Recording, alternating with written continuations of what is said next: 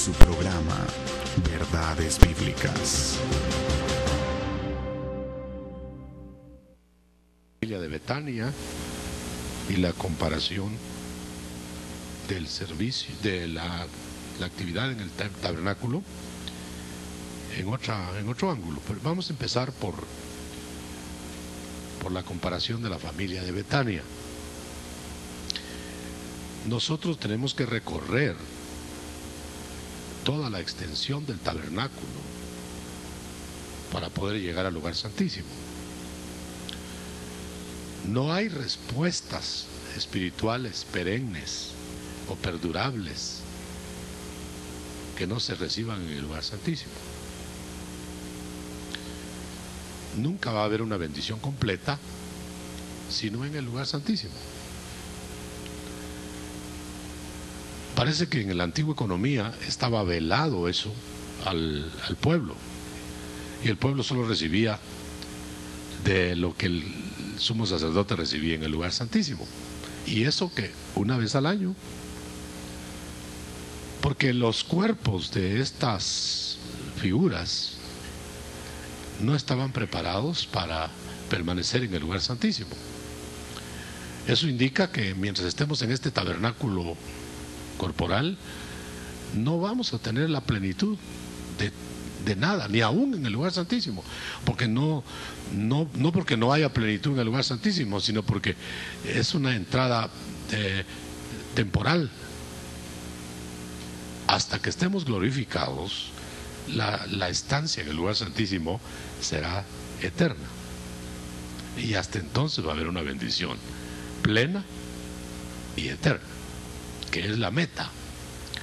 Dios no hizo al hombre para que medio viviera, ni mucho menos viviera menguado como vive lo hizo para que tuviera plenitud y eternidad. Pero noten ustedes que desde que, desde que se fundó la raza humana, propiamente la nuestra, la adámica, la raza roja, no, no hay sino un plan bien determinado. ¿Por qué Adán? Voy a permitirme correr un poquito hasta los tiempos de Adán antes de entrar al tabernáculo. ¿Por qué a Adán no le dieron definitivamente todo? Porque esta tierra, para los Adanes, es de prueba. Es un lugar intermedio, porque no es definitivo. Todo lo que no es definitivo es intermedio. Se combate mucho eso de los lugares intermedios porque no los entienden todos. Entonces, ¿por qué Adán, si no por figura, no le dieron el paraíso eternamente? ¿Por qué le, regalaron el paraíso, pero lo tenía que conservar?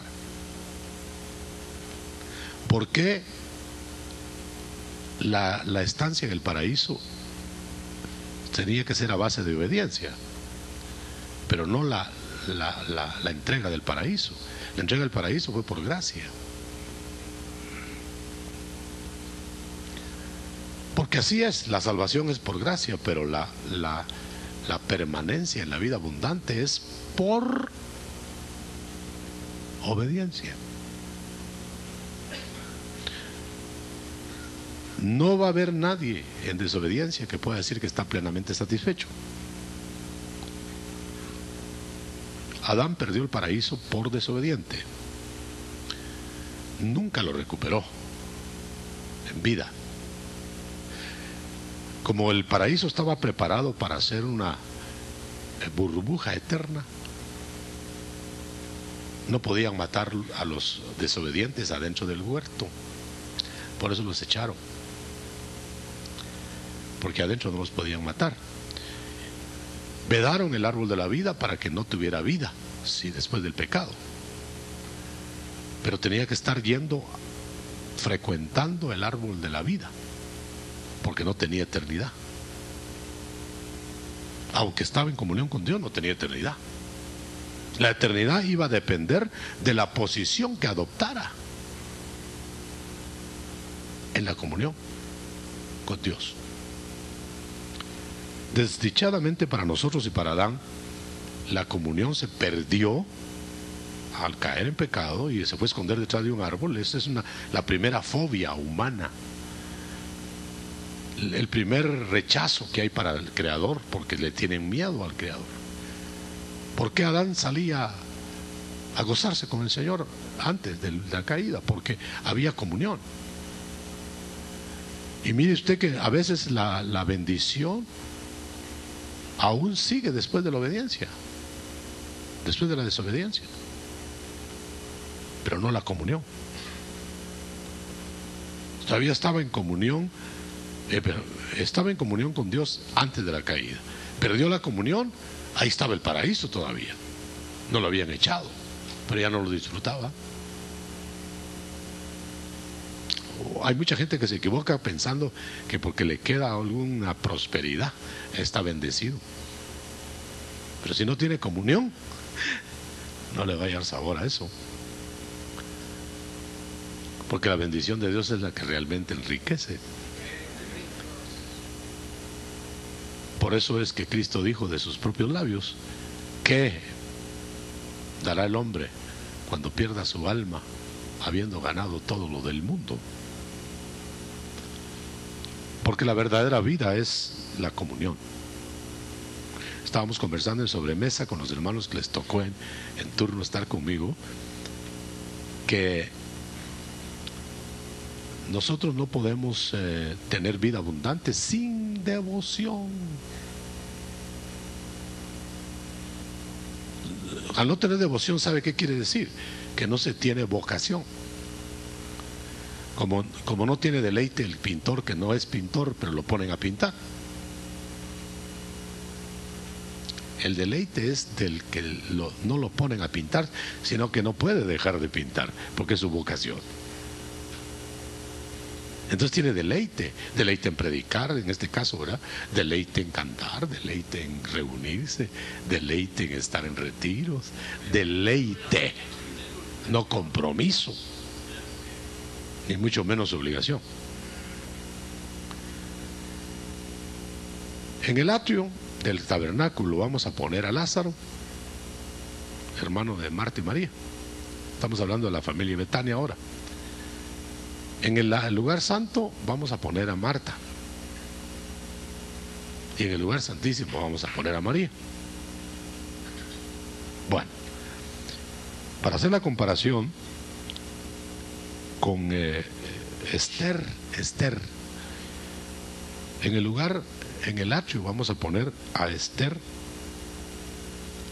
clamando en polvo y ceniza, rasgando sus vestidos por la, por la angustia de su pueblo. En el, en el lugar santo vamos a poner la, los ayunos y la, el clamor intenso de Esther. Después de saber la tragedia que iba a haber en su pueblo.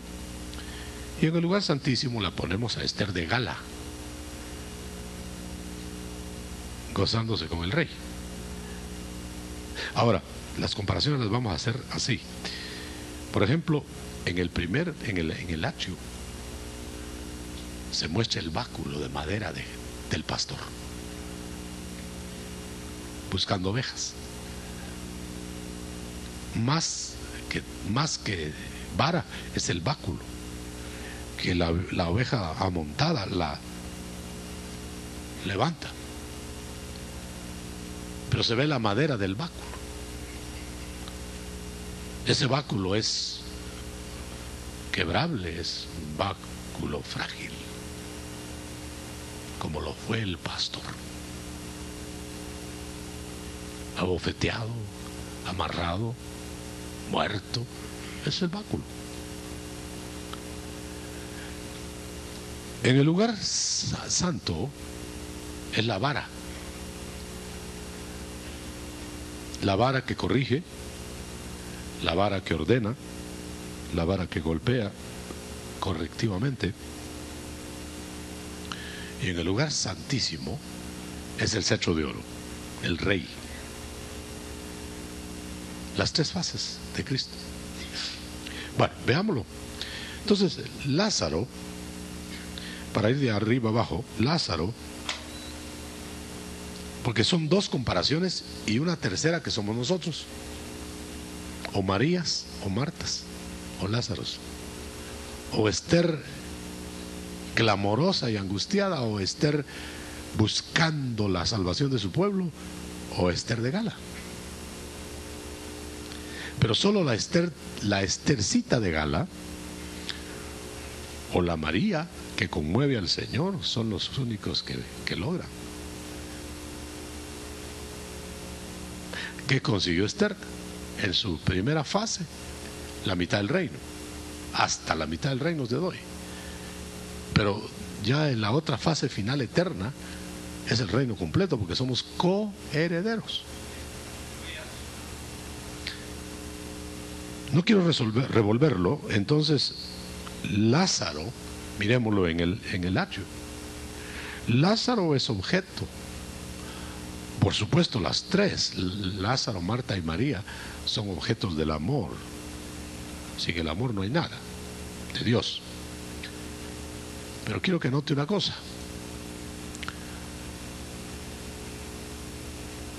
¿Qué movió en el amor, por supuesto, al Señor hacia Lázaro? Misericordia, lástima, compasión. El Señor llegaba al atrio de esta familia y ahí estaba Lázaro. Y salió huyendo. Evasivo. Mire hermano, cuando ya empezamos a ver a la gente evasiva a las demandas de Dios, están en el atrio y en la orilla. Ya para. Porque el atrio es un lugar de paso. En el atrio es un lugar de llamado. Ahí en el atrio están los llamados. Solo en el lugar santo y santísimo están los escogidos. Ahora, muchos llamados, pero no todos entran. Entonces Lázaro, Lázaro está ahí, eh, ya viene el Señor a regañarme, ya solo quiere que viva para Él, ya solo cree que solo para Él tengo tiempo, yo tengo que trabajar y, se iba a la oficina. ¿Qué Señor ni qué Señor la oficina? O no sé qué, a dónde iba. Pero la idea es evadir al Señor con cualquier pretexto. Estoy muy ocupado, estoy muy cansado, estoy, estoy muy próspero, estoy bueno. Por eso es peligroso. Y acuérdense que los tres son del Señor, Lázaro inclusive. Peligroso cuando nosotros no tenemos anhelos del Señor. Estamos en el atrio y no avanzamos. ¿Cómo, cómo sentirá el Señor aquellos que solo, solo para, para predicar abren la Biblia? ¿Cómo sentirá el Señor aquellos que solo para, para exhortar cogen un versículo? Y no se deleitan. Lázaro oía, Señor, ¿qué tal? Ah, Señor, ya, ya nos vemos. Ahí no, hablaba con él, pero no se nutría de él. Bueno, Señor, ahí nos vemos otro día. Yo tengo que hacer. Ahí nos vemos. Y se iba. Cuando no hay deseo de alimento, pues no hay apetito. El Señor no va a dar comida. Eh, hermano, el, el apetito lo hizo Él para comer.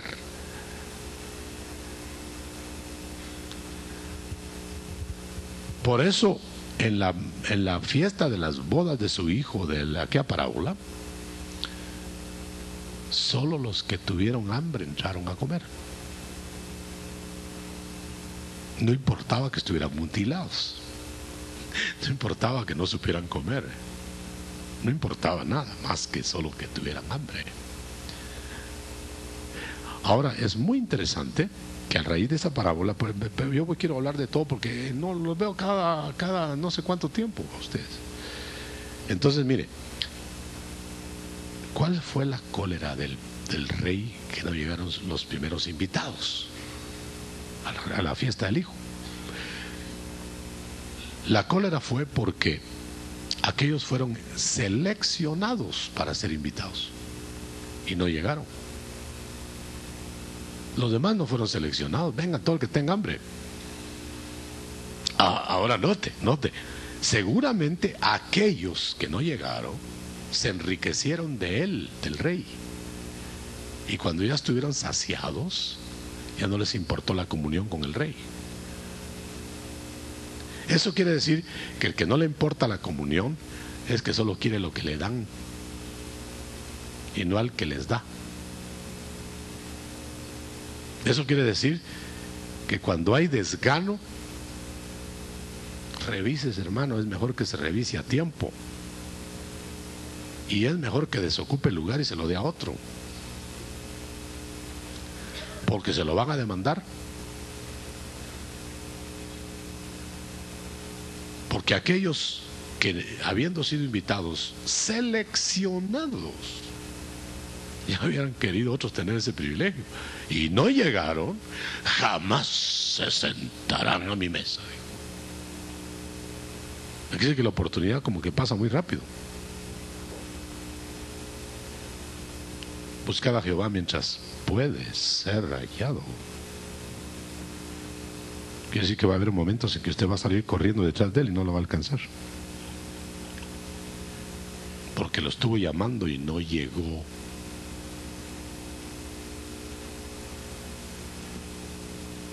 Lázaro llamó a compasión al Señor y a misericordia y a lástima.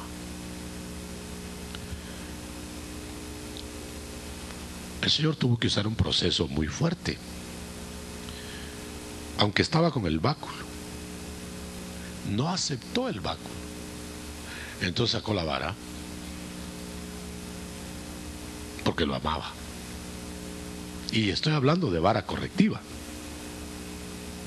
En este caso de Lázaro, la vara correctiva lo llevó hasta morir físicamente.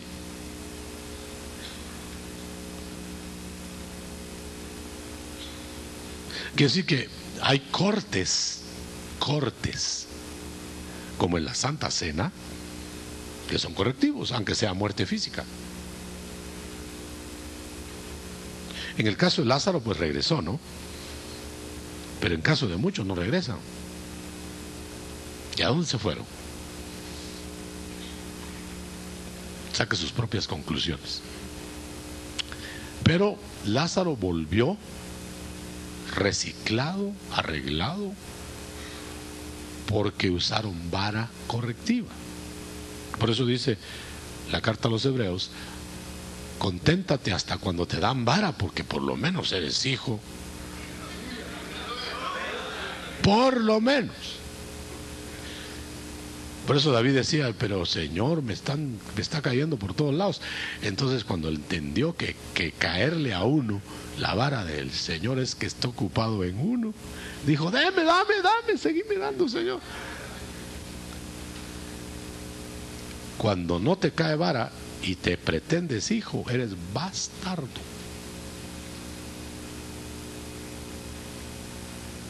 Porque qué padre no corrige, dice a su hijo. Oh, gloria a Dios. Qué lindo la tribuna. Sale el pastor a ver dónde hay ovejas. Ese es el atrio de los evangelistas. Los Lázaros. Que están casi al borde de la muerte lástima.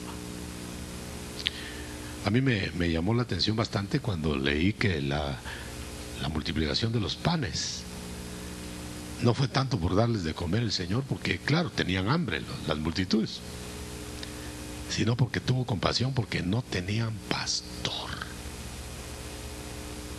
Me llamó la atención porque yo creí que era por hambre, que era darles de comer solamente. No, era porque El estar hambriados era porque no tenían quien les diera. Y esa es la responsabilidad de nosotros. Porque fueron los discípulos que le dieron, ¿no? Por supuesto que primero se le dio el Señor. Por eso es ridículo, ridículo, que haya ministros que quieran dar pan sin que se los dé el Señor. ¿Qué van a dar? Bagazo. ¿Qué van a dar? Pan que a, a los oyentes. Por eso es terrible subir al altar de la predicación. Estoy hablando con ministros. Sin nada. Es pecado. Es como que a tu hijo le dieras, en vez de leche, le dieras agua y lo engañas, le pones color al agua. Con, el, con, ponerle color al agua no te va a engordar el muchacho, porque no toma leche. Le tomas el pelo que, que todavía no tiene. Un ministro en el altar que ni siquiera tiene el, el trabajo de ir a prestar pan para dar al amigo que llegó a pedirle es deleznable. No te subas a predicar para ganarte el pan diario. No ocupes un púlpito porque al fin y al cabo te pusieron ahí que eso sería peor que no hacer nada. Hacer algo mal hecho es peor que no hacer nada. Tomémoslo, hermano. Eso va para todos, inclusive para el que habla. Yo no estoy señalando errores en ustedes, estoy señalando de parte del Señor los errores que tenemos nosotros.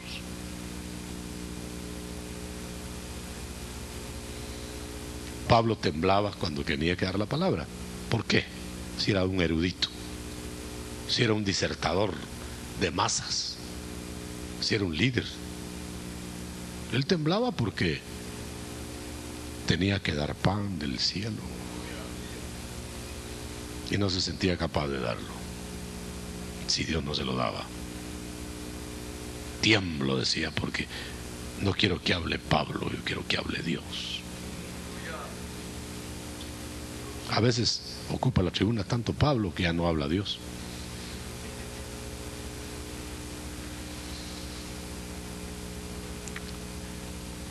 Levante su mano derecha. Cójalo. Cójalo.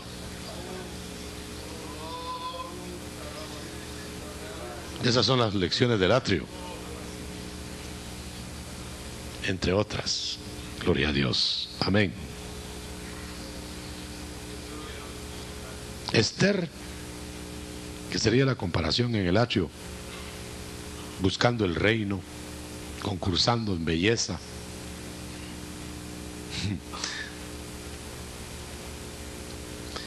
Da lástima. Solo que quiere vivir de su cara bonita. Y realmente el, rey no le escogió por su cara bonita. Le escogió porque pues, se parecía a Basti. y estaba enamorado de Basti, la apóstata. Y la tenía que sustituir sin dejarla de amar. Pero Esther era ridícula y la pobrecita, hasta era huérfana y toda, saber cómo. Pero en el hacho no había entendido el plan. Ella creía que por su belleza iba a estar en el trono y para, para verse en el espejo del salón de los espejos. Y en eso vio que había tragedia para su pueblo. Compasión en el hacho. Si hubiéramos visto a Esther, tenía sus galas, pero no las galas del cetro, las galas del coqueteo. Las galas de bien arregladita para que el rey se enamorara de ella. Esa no es la gala que yo estoy hablando. Yo quiero hablar de la gala número 3, de la del lugar santísimo. Estoy comparando. Entonces, miremos Lázaro y Esther en el atrio. Parecen. Le tienen que decir, intercede por tu, tu pueblo, Esther. No, no, puedo morirme. Y miren cómo salen.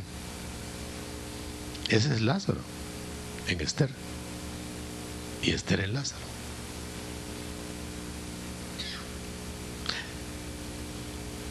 ¿Cómo se ve usted? ¿Cómo me veré yo en el lugar, en el lugar del atrio?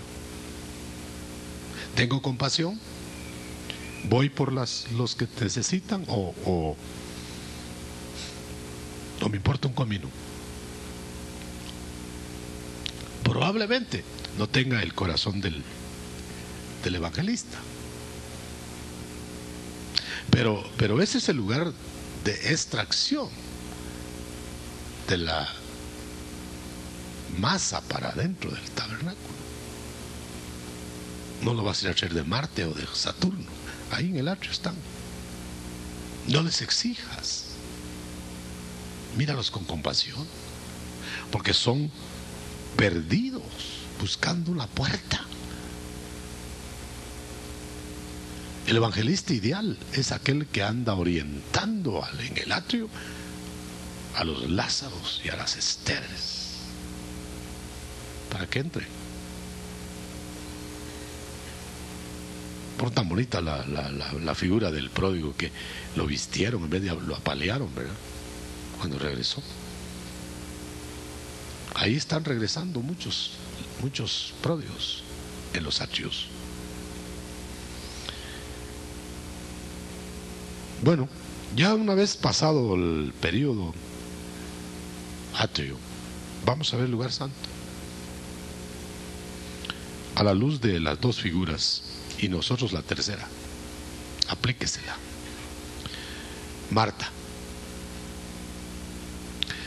En el lugar santo es lugar de servicio, ya escogidos, porque no es cualquiera, ¿no? En el atrio es cualquiera. En el lugar santo, ah, porque aquí son llamados, en el lugar santo son escogidos. No todos eran sacerdotes, hermano, en la antigua economía. Solo Leví. Entonces eran escogidos.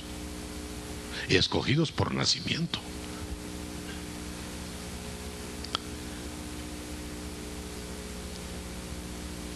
No podía uno de Zabulón, uno de Neftalí, uno de Leví.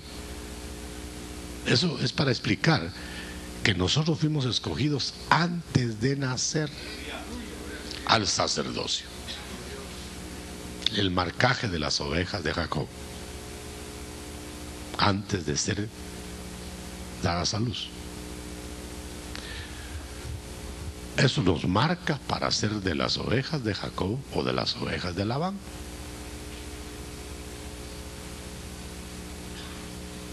Aquí están los ancestros. Ahí está que si yo le pregunto a usted, mi querido ministro, ¿cuándo empezó en el ministerio? Ah, pues fíjese que en el año... No, no, no. Usted empezó antes de nacer.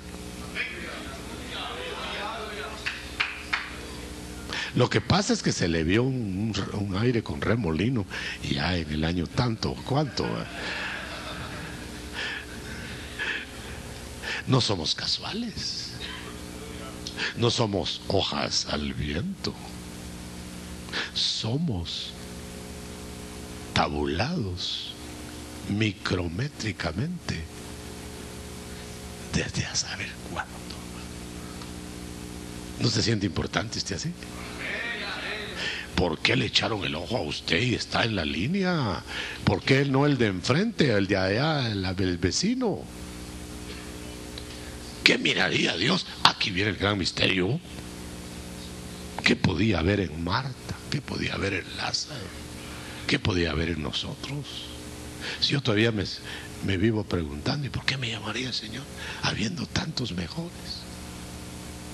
Siete mil más por cada uno.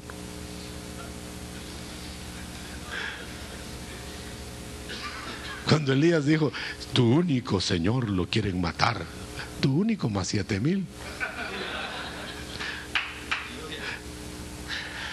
Hay siete mil más.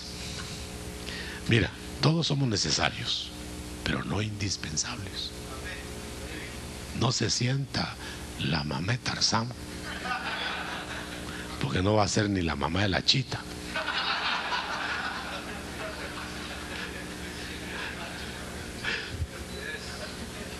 No nos sintamos demasiado, hermano. Si la sabiduría de Dios hace que reconozcamos nuestros límites, hasta dónde llegamos. Pero ¿crees, ¿quiénes creen que llegan a Saturno antes de volar? No llegan, pero ni a la vecindad, hermano. Bueno, Marta, Marta, servidora, amada, servicio al Señor, no al mundo, al Señor. La comida era para el Señor. Lo que hacía las vueltas de Marta eran para el Señor. Así que no estamos hablando de cuando no servimos ni al Señor. No, cuando le servimos. Pero solo eso hacemos. El Señor más que servicio quiere entrega. Mejor obedecer que los sacrificios. Marta, en muchas cosas te ocupas. Por eso es peligroso, hermano, y le doy la alarma. Cuando un ministro llamado al altar vive solo en las oficinas de administración.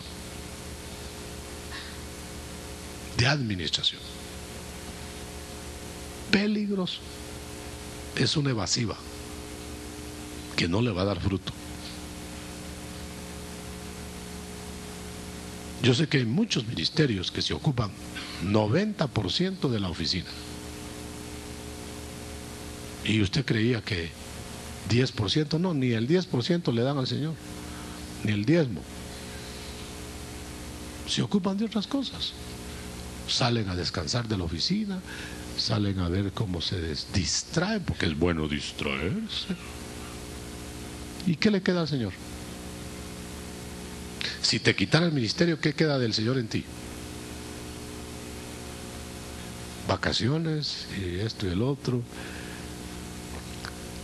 Mejor no sigo porque se enojan. Marta, no te he dicho que una cosa te es necesaria. Óyeme, si Marta hubiera sabido o hubiera entendido que que era mejor oír las grandezas de los misterios del cielo en el único que los podía dar. No hubiera hecho comida para el Señor y hubieran ayunado los tres. Ah, pero que había que comer. Lo que creo que la que tenía hambre era ella. Pero de comida en la tierra. Y ahí pasaba, y pasaba. Y lo peor de esta gente martiana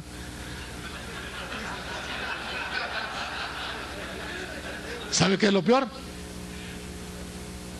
Que no solo se pierden ellos los mejores bocados del cielo, sino que se enojan contra los que los están aprovechando. Ah, Señor, ya, ya me cansé de ver a Marta ahí sentadota. O que digo a María, ¿verdad? Sentadota y no me ayuda. el humanista, el cristianoide que hay ahora abundante, cree que vale más estar dando vueltas y vueltas y vueltas, aunque sea para los pobres, ¿verdad? Los pobres ellos, que sentarse a las devociones. Según ellos, es perder tiempo cuando usted entorna los ojos y se mete en el cielo. Que si, que si hubiera tenido esa filosofía, Juan el teólogo solo nos hablaría de Patmos. Pero menos mal que se levantaba de Patmos y subía al cielo, sus devociones. Pues bajaba con, ay, si soy prisionero. Tan lindo que estaba allá arriba, pero lo bajaban. A la hora del pan y el agua, que era lo único que comía. A la hora de, tener que estar pensando en mi familia, dónde estará mi gente. Después se la robaba otra vez Apocalipsis, mirando el cielo. Pero los ministros martianos son patmotianos. Solo de amarguras hablan. Solo de la isla de Patmos. Usted, usted leería el Apocalipsis si solo estuviera la descripción de todas las peripecias de, Pablo, de, de Juan en Patmos. Me daban pan, mohoso, me daban agua, me, pegaban, no me lanzaban a ver, me dejaban tirado. Eso sería el Apocalipsis. Pero Juan le habla de panos porque al fin y al cabo estuvo ahí. Pero le habla más del, del cielo, ¿no? Le damos un aplauso Señor.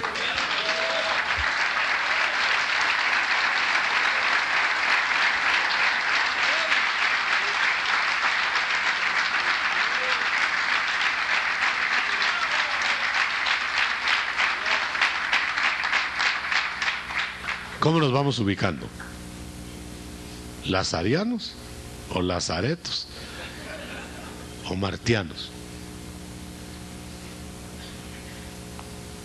O como Esther en Harapos, o como Esther coqueteando. Coqueteando.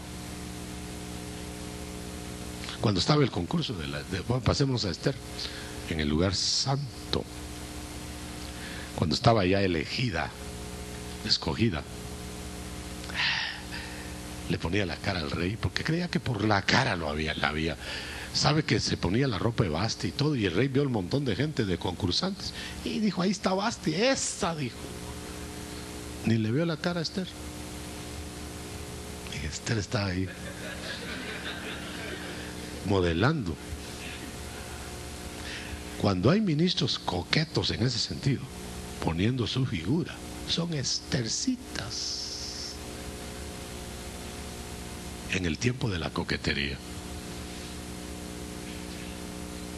Son saulitos, saulitos hermosos de rostro. Se parecen a los Nefilim. ¿Sabe por qué? Porque los Nefilim quiere decir hermosos que hacen caer.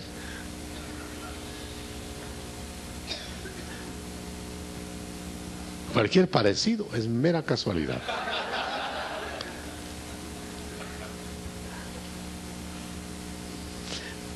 Respire hondo, hermano. Yo, yo ya me estoy ahogando de todo.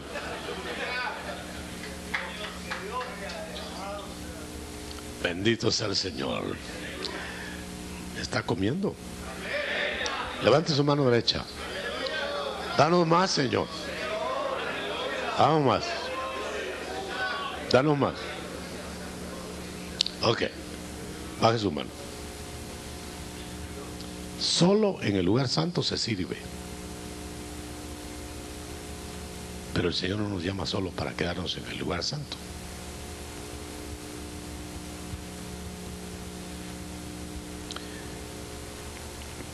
Los del atrio son los llamados. Los del lugar santo son los escogidos. Pero los del lugar santísimo son los de la alcoba, los amados, los amigos. Son los únicos que van a probar del centro. Está bueno servir, hermano. Si no hubiera servidores, no habría tampoco gente en el lugar santísimo. Pero son como turnos. No va a estar usted todo el tiempo sirviendo. Por eso es muy bueno cuando se abundan los servidores, turnarlos para que hagan de Marías también y no solo de Martas. Si usted ha pensado en poner, digamos, 10 diáconos, 10 diaconisas, ponga 5 en servicio y 5 oyendo. No que se queden en casa descansando, no, oyendo. Porque el mejor descanso es oír. Oír. Lo que pasa es que a veces no hay remas, entonces ¿qué van a oír?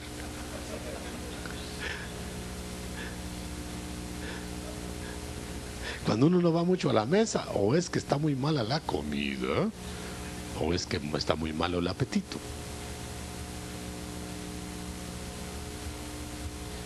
Y a lo mejor se tiene que cambiar de, restaurante o de hotel.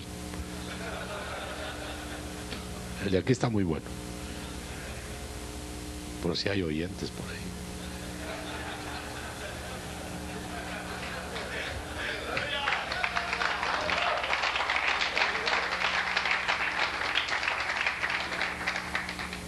¿Cómo me gozo verlos, hermano?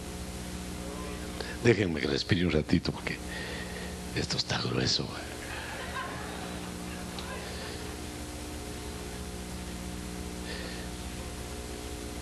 Esto me lo dio el Señor hoy en la mañana. Para que los diera a ustedes. Ya tenía algunos visos por ahí, pero me dijo, habla de esto. Aleluya. Si el Señor quisiera servidores, nada más, tiene mejores que nosotros los humanos. Tiene ángeles que le sirven al rayo. Así que no se apure mucho, que nunca va a correr como los ángeles. Él quiere adoradores. La, la, la élite, los electos de Dios, son los adoradores, hermano. Fíjese que el hijo anda buscando odres viejos para hacerlos nuevos en el espíritu. Y el padre adoradores.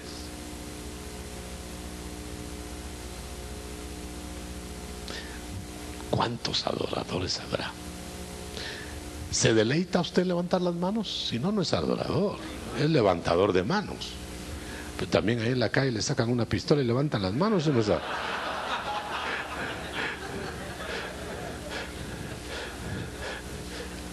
se deleita usted levantar las manos. Ese es un, diferente a que le pregunte, levanta las manos.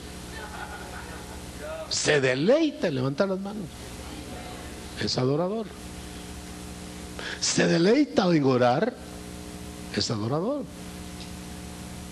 Se deleita en predicar. Está adorando. Si no tiene ese sabor, pues está haciendo ejercicios aeróbicos, como cuando estamos ministrando sin, sin poder, lo único que hacemos es despeinar a la gente. Y le hacemos la cabeza así. Es lo único que le meneamos. Bueno. Marta, los muchos quehaceres te ocupan para perder lo principal. Que le hubiera dado cinco minutos el Señor como María, ¿verdad? A usted o a mí. ¿A quién le hubiéramos preguntado? Y Marta papaloteando en la cocina. Y Lázaro a saber por dónde.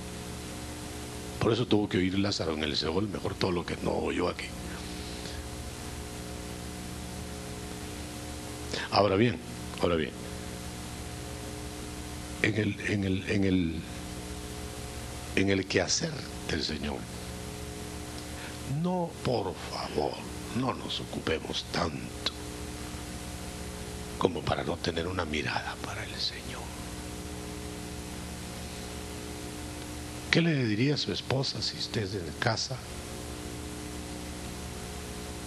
Todo lo hace, menos que ella sienta el afecto suyo.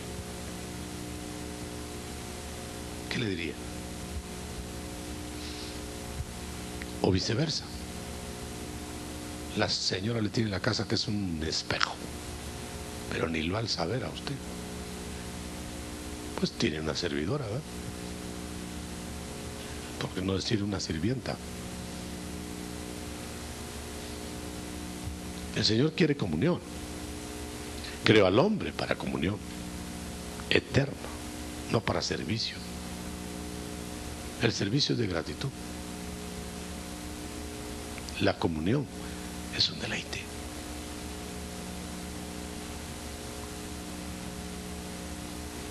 Oh Señor. ¿Dónde Esther? ¿Dónde María cogió el cetro? En la comunión. El lugar santísimo. ¿Por qué Marta no le arrancó virtud al Señor? Y le dijo lo mismo que María. Pero note una cosa, Marta llegó a Jesús cuando, cuando llegaba a ver a Lázaro, al, al muerto. Marta llegó a Jesús, no la llamó Jesús. María llegó cuando Él la llamó. Por eso conmovió al Señor como que hubiera llegado, llegó Marta, eh, le dijo lo mismo, si hubiera estado aquí no hubiera muerto mi hermano. Entonces, Marta llegó, pero el Señor quería hablar con María, con la que hablaba siempre. Llega la otra y dice, no, no, no, no, no, tú no me oyes, yo no te oigo. Llámame a María. ¿Cómo se pondría Marta? Llegó, pero así, mire, porque son muy vidriosas esas gentes. Y llegó y le dijo, María, ahí te llamo. ¿Qué cara le pondría? Eh? Y María salió calladita. Y le dijo lo mismo. Y conmovió al Señor. ¿Sabe dónde? Marta le habló hacia el rostro. Señor, si hubieras estado aquí, hasta con voz de pastor se lo dijo. ¿Se ha fijado usted que uno hace voz de pastor en el púlpito?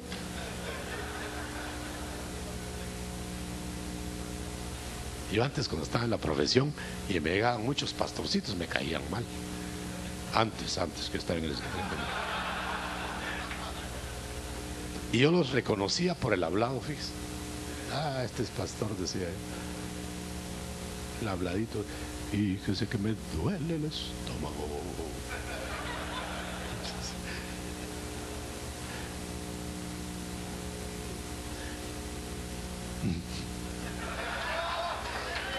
Ah. ¿Sabe por qué lo conmovió María? En primer lugar, porque el Señor quería hablar con ella. En segundo lugar, porque le habló a los pies de Jesús. No le estaba reclamando, solo le estaba diciendo, Señor, llorando. Yo no te entiendo, Señor. No te entiendo, pero te creo. Y te quiero. Se conmovió el Señor. ¿Contarán las lágrimas? ¿No vio las lágrimas de Ezequías? Ay, tan emocionantes, tan emocionales, tan, tan, tan sensibleros. ¿Cómo así? Depende. Depende si son lágrimas de Hollywood.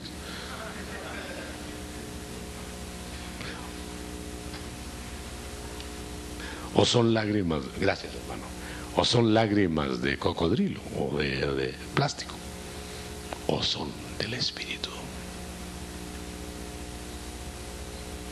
María se tiró a los pies. No comprendía por qué no había llegado a sanarlo igual que Marta. No comprendía por qué lo dejó morir. No comprendía por qué no llegó al velorio. Hasta los fariseos llegaron. No comprendía por qué no fue al entierro. Pero esperaba. Por eso los que somos discípulos a ese nivel de Cristo, le creemos a Él todo lo que dice. Pero esperamos en todo lo que hizo.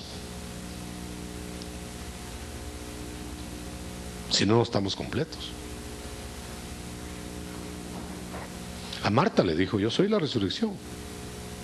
A María no le tuvo que explicar mucho, porque ya lo había oído y creído. Sí, era lo que platicaban, era lo que platicaban en casa.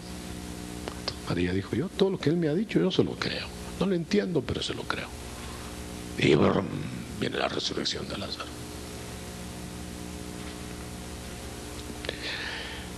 Solo levantamos muertos, solo se levantan los muertos cuando Cristo se conmueve. Por eso no hay pecador que se arrepienta con nuestras predicaciones, a menos que Cristo lo conmueva.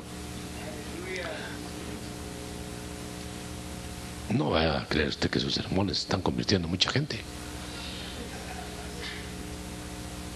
Ya le conté, creo que anoche, creo que fue, aquel que llegó corriendo, el único que aceptó en no sé cuántos ocho días de campaña, le aceptó solo uno.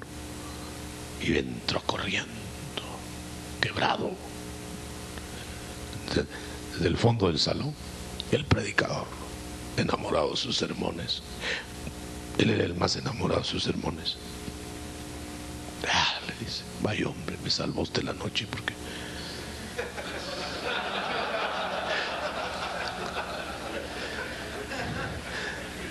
¿Y qué fue lo que más le gustó de lo que yo dije? Yo no oí nada, dijo el cliente.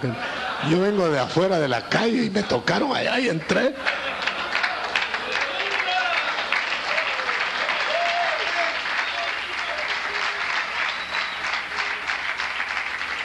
Y el otro se había pasado toda la noche haciendo su bosquejo.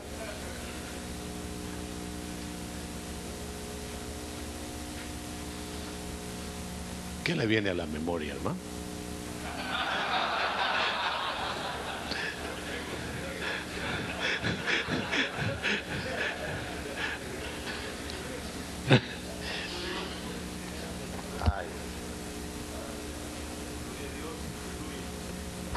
Esther, María, se parecen en el lugar santísimo. Pasaron por las otras fases. ¿eh? Y María, María podía hablar con Cristo así, en el lugar santísimo, porque había pasado por el atrio y por el lugar santo. Así que no estamos exceptuando esos lugares. Pero no se puede no quedar ahí. Ojalá se pudiera quedar en el lugar santísimo. Los coherederos. Coherederos con Cristo. O sea, herederos de todo. Son solo los que se sienten con Él en su trono. Repito, solo las Marías se van a sentar en el trono. Las Martas y los Lázaros van a ser de la familia. Pero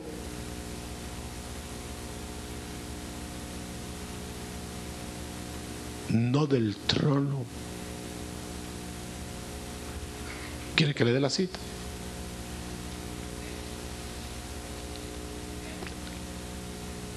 El que venza se sentará conmigo en mi trono, como yo vencí, dijo Cristo, y me senté en el trono de mi Padre. Eso se llaman reyes. Por eso es el será rey de reyes. Y señor de señores, es otra categoría.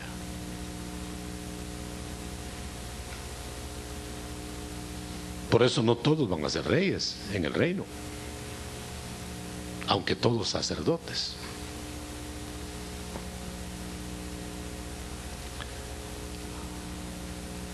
La meta de la soberana vocación es heredarlo todo.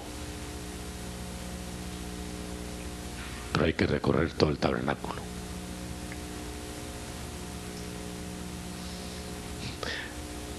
En el archo pretenden toda la bendición muchos.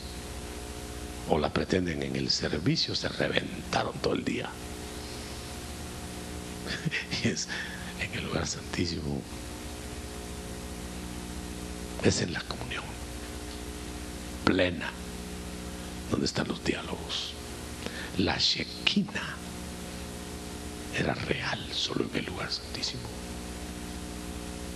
Por eso en el hacho alumbraba el sol de la razón. En el lugar santo, la luz del aceite en el candelero. Solo en el lugar santísimo. La Shekinah. O sea, los diálogos son en el lugar santísimo. Ahí hablaba Dios con Moisés. Por eso hablaba siempre con Cristo, porque dice que siempre estaba en el lugar santísimo.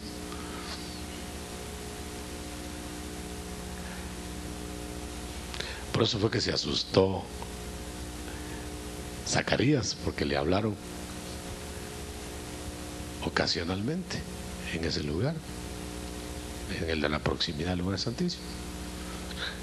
Quiere decir que antes, ¿cómo oficiaría? Por pura rutina. Y de repente, un ángel y esto y el otro. Y se tardó y hasta se quedó mudo del susto.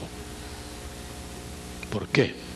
Porque no estaba acostumbrado a las devociones, sino a los trabajitos rutinarios. Tengamos mucho cuidado con la rutina, hermano. La rutina nos enerva, la rutina nos, nos pone, nos embota. La rutina, ah, como cae mal la rutina.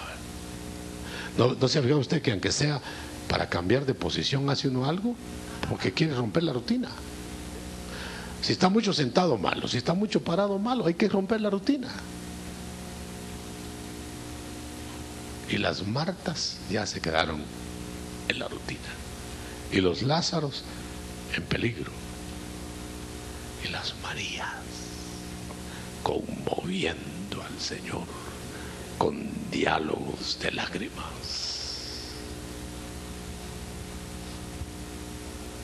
Cierra sus ojos. Oh, alabanza. Oh, dirá madre, ¿En qué lugar está? ¿En qué lugar está? Seamos sinceros. No estaremos regresando al hacho o nunca hemos salido del hacho. No estaremos en el lugar santísimo, del, en el santo del servicio. Nada más. Porque si estás en el lugar santísimo, tu deleite no tiene fin. Tu deleite será tu paga. Ya ni siquiera vas a esperar el cielo, porque el cielo lo tienes ahí.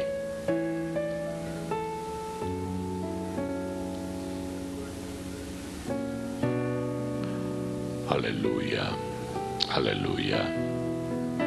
Gloria a Dios. Gloria a Dios. Gloria a Dios. ¿Tienes tú algún alguna alabanza, algún deleite en este momento con el Señor? ¿Estás probando el lugar santísimo?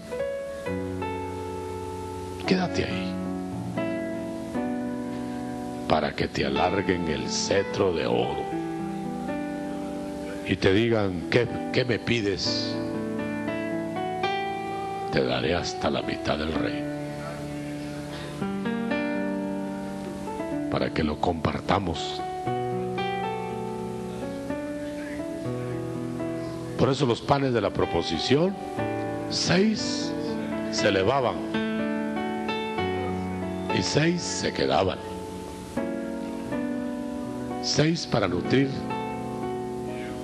al cielo, seis para nutrir al hombre, al, sacerdote, ni siquiera al pueblo, al sacerdote.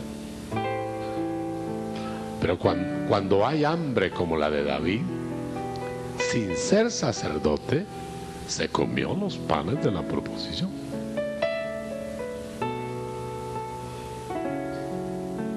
Tenía hambre. Si tú no tienes hambre, no te vas a comer, pero ni los panes del, que no hay en el hacho. Si no tienes hambre, si no tienes anhelo, si no tienes deleite en esto, qué tortura, ¿verdad? Uh, 28, 30 años de tortura masoquista. No, no se aguanta. Pero dice el Señor, mi yugo es fácil y ligera mi carga, porque es de amor. Qué corta es la vida con la que amas, qué larga es la vida con la que no amas.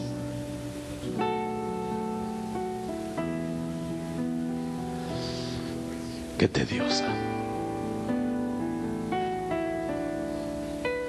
Qué triste. ¿Quién se casa con el Señor para no vivir con Él? ¿Quién se casa con el Señor solo para pedirle prestado para vivir? ¿Quién se casa con Cristo y no comparte sus glorias? Padre, dijo Cristo orando, la gloria que me diste les he dado. Ya queda en nosotros tomarla o dejarla. Y nadie podrá decir que no se la dieron. Como aquellos invitados de la boda del Hijo que no llegaron. Pero no llegaron porque no quisieron porque le dijeron que llegara. Solo el que cree entra en el reposo de Dios, aún en medio de las luchas y de las pruebas.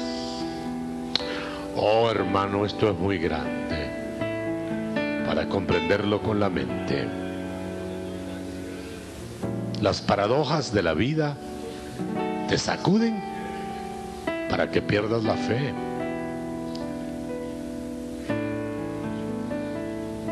Pero bienaventurado el que no haya tropiezo en el paradójico Hijo encarnado, porque va a ver al glorioso que no tiene paradojas, que tiene más que cama de marfil ya no digamos más que almohada, pero que no la tuvo en la tierra. Os alabaréis. Esto está como para ministrar.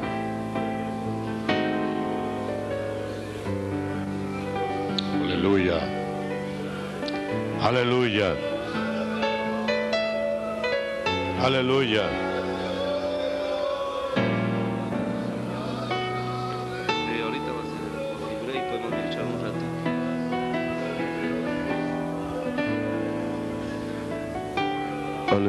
levante sus manos al cielo. Aleluya. Aleluya.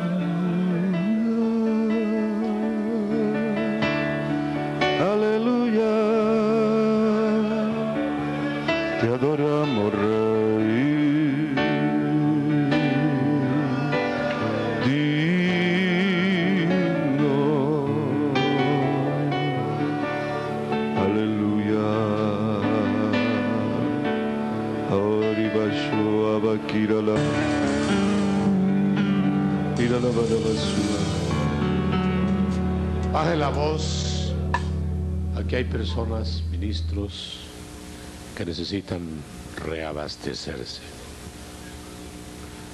Yo veo en mi corazón ministerios casi naufragantes, callados, no lo sabe ni, ni la familia, pero están zozobrando. Cogieron el camino de Noemí.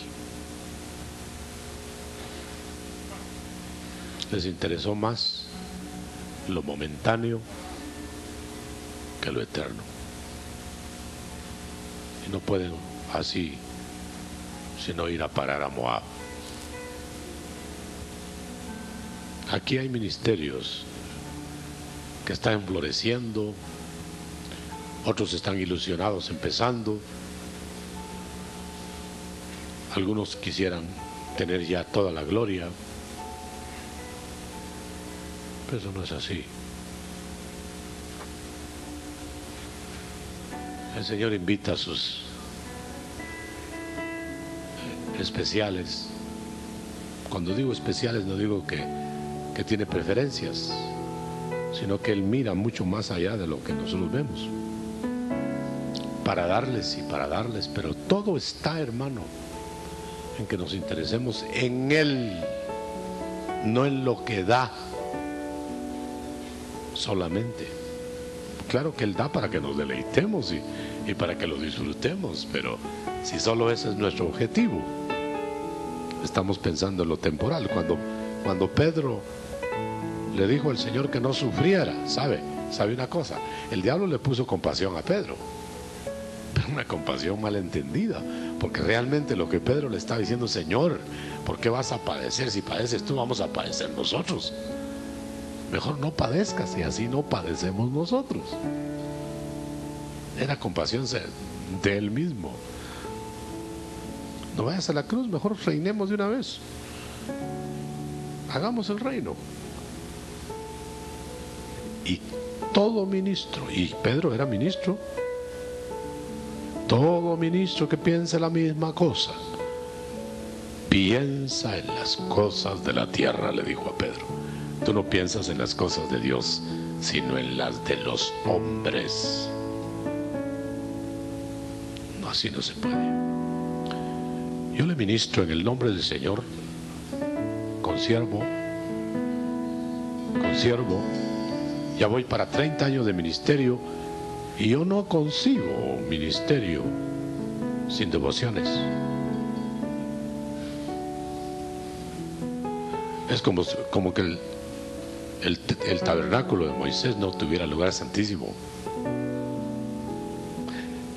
Es Silo. Silo. Silo. Silo es tabernáculo sin arca del pacto. Se la habían llevado los filisteos. ¿Y sabe usted que estuvo 20 años el arca fuera? Y ellos, los sacerdotes, seguían oficiando. Como muchos lugares hoy siguen oficiando sin lugar santísimo.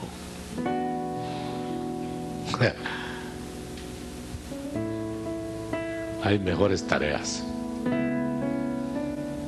que esa. El desierto es la receta para los tales. No conocer nunca Canaán qué castigo. El desierto era paso, no residencia, pero residieron 40 años. Era paso. Era como estar en un hotel. No se puede estar todo el tiempo. Paso. Pero acomodarse en un hotel para vivir ahí no se puede, porque el hotel es de paso, para pasajeros. hay mucha gente que vive en los hoteles. El Señor tabernaculizó la tierra en el tabernáculo, en Jesús y en la Shequina del Padre en el lugar santísimo. Pero tabernaculizó para que nosotros lo aprovecháramos. Él no tenía por qué salir del cielo para que lo aprovecháramos. Pero no toda la gente se mete al lugar santísimo. Y le advierto una cosa, ya pasó la época de exclusividades del lugar santísimo, porque se rompió el velo. Ya todos los sacerdotes podían, todos podían entrar, si querían. Lo que pasa es que no querían morir. Y Cristo entró ahí en el lugar verdadero santísimo, muriendo. Porque con su cuerpo rompió el velo. Eso quiere decir con su muerte física.